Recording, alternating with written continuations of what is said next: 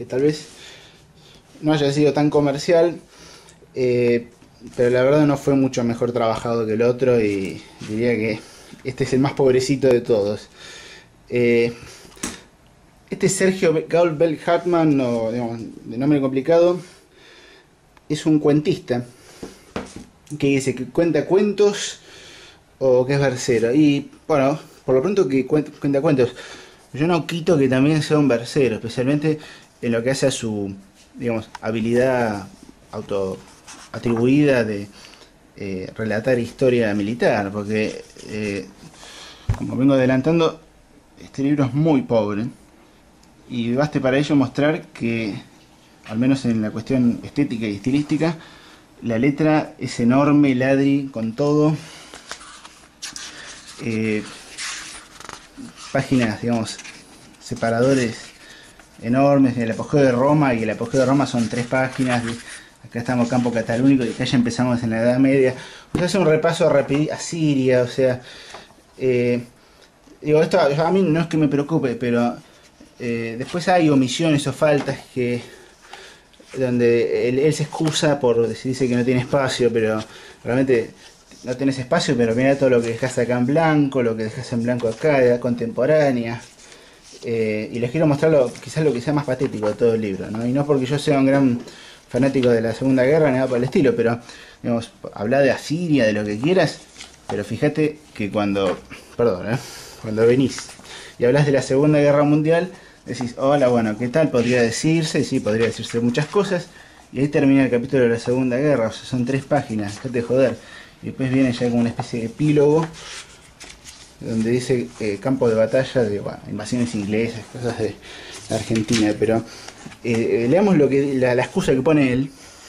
Dice, eh, la batalla de Stalingrado, bueno, librado, menciona algunas como la batalla de Stalingrado, la invasión de Normandía dice que sobre ellos han corrido ríos de tinta y que de ninguna manera podemos aludir a ellos en 10 o 15 líneas. No lo haremos, preferimos dejar abierta la posibilidad de una obra una obra que trate en particular las batallas del siglo XX, ya que, o sea, ya es como que está anunciando su próximo libro, porque si su próximo libro va a ser así, tampoco va a hablar de la Segunda Guerra, va a hablar de no sé, en fin, este, las bombas de Hiroshima y Nagasaki, la Guerra Fría Indochina, no hay manera de sintetizar estos últimos 70 años de historia humana, eh, no por lo menos en las pocas páginas que podemos dedicarle a este libro. ¿no? Es preferible que nos la tengamos aquí, pasemos a un periodo de historia que nos toca de cerca y nos ha determinado, bueno, en fin. Pero ahora, este aquí, que vamos a la mitad del libro, bueno, Termópilas, Salamina, está muy bien eso, las guerras públicas, pero yo les quiero mostrar que cuando vamos a la página 144 eh, empiezan las cruzadas. Página 144. ¿Y dónde termina esto? Sin las cruzadas.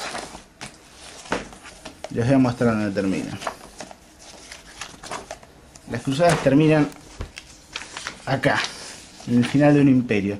Página 199. O sea, le dedicaste 60 páginas a las cruzadas está bien, yo te entiendo, vos sos un, ya estoy hablando personalmente, este autor que yo no, tengo nada contra él, no lo conozco, pero digamos, lo juzgo por lo que veo acá, se ve que sos, este, que te gusta la, eh, las cruzadas, acá mismo lo decís, o sea, cruzadas, 200 años de historia, o sea, lo que vos tendrías que haber hecho en todo caso, si te gusta escribir sobre las cruzadas, es escribir, bueno, grandes batallas de las cruzadas, ¿viste? Pero grandes batallas de la historia, está bien, las de las cruzadas son de la historia, pero la historia va un poco más, incluye entre otras la batalla de la Segunda Guerra Mundial.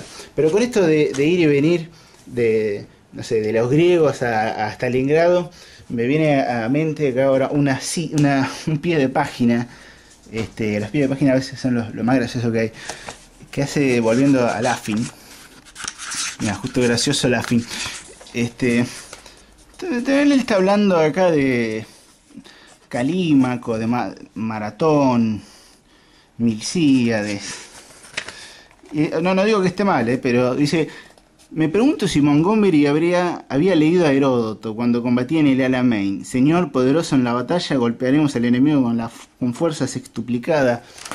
Está bien, viste, pero... Eh, Montgomery no es este Víctor David Hanson, ¿me entendés? Eh, cortamos acá con estos dos y vamos a mostrar Este es el que menos leí, de hecho no, es el único que de los tres que no leí, lo compré hace poco. Este, me agradó el, todo el tema del tamaño y el peso y la ilustración, básicamente ilustraciones, grandes batallas. Eh, muy prolijo, muy bien hecho este. Aparte, este, son todos distintos historiadores estos. Cada uno se dice experto en la materia, pero la verdad que a la luz de lo que vimos recién ya no puedo confiar en nadie. Nadie que no conozca al menos. Este, y bueno, donde se ven, seleccionan, la selección de batallas no, no es mala, o sea, en ese sentido está, está hecho con criterio. Y bueno, repaso un poco las tácticas, la, batalla. Eh, o sea, el tema es que siempre es con criterio, eh, ¿cómo decirlo? Eh, occidental céntrico, ¿no? Porque mostrando un capítulo que leí, por ejemplo, uno de los primeros bueno, es sobre la talla de maratón, que por cierto estos otros dos también lo tratan. Pero habla de lo, eh, cuando habla de los griegos, habla de los griegos como en primera persona, diciendo, bueno, nosotros los griegos, afortunadamente pasó esto, afortunadamente lo otro, digamos, lo que es fortuna para uno es este, mala fortuna para el otro. Así que yo no sé, eh, eso es como que le quita un poco de seriedad, ¿no? Porque está bien que uno se lo vea desde un lugar, pero esto ya no es Heródoto, o sea, esto tiene que ser un poquito más eh, neutral, digamos. Y bueno, esto sería, por ejemplo, una, uno de los gráficos de una vista en, en 2D de la batalla. Digo 2D porque quiso ser 3D y no le salió. Este, un poco reminiscente de las de los mapas de Osprey, ¿no? Bueno, Salamina, eh, en fin, está muy bueno y, no es tan caro, aunque parece saben que en general no me gusta hablar de los precios porque es una cuestión que va aparte, pero a veces es cierto que, es, que determina bueno, las decisiones que tomamos en, cuanto a la compra y demás. Pero esto este, sale creo que 90 mangos por ahí, si uno lo consigue con algún descuento, ya parece un precio razonable para lo que son los precios hoy.